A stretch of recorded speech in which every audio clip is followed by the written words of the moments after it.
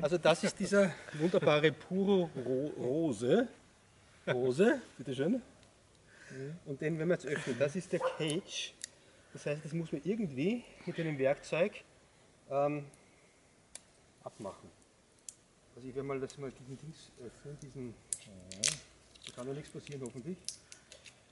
So. Und Kreuzkurs haben wir ja alle. Ähm, die Frage ist, wie kriegen wir diesen. Ah, ich verstehe schon. Den muss man einfach nur ähm, mit einem Schraubenzieher einfach so ab. Ich war das nicht in der Erklärung mit dabei. Genau.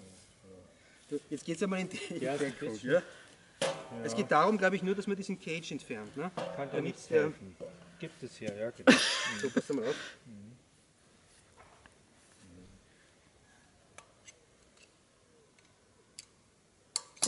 Na bitte, ja, gut gemacht. Nicht schlecht. Ja.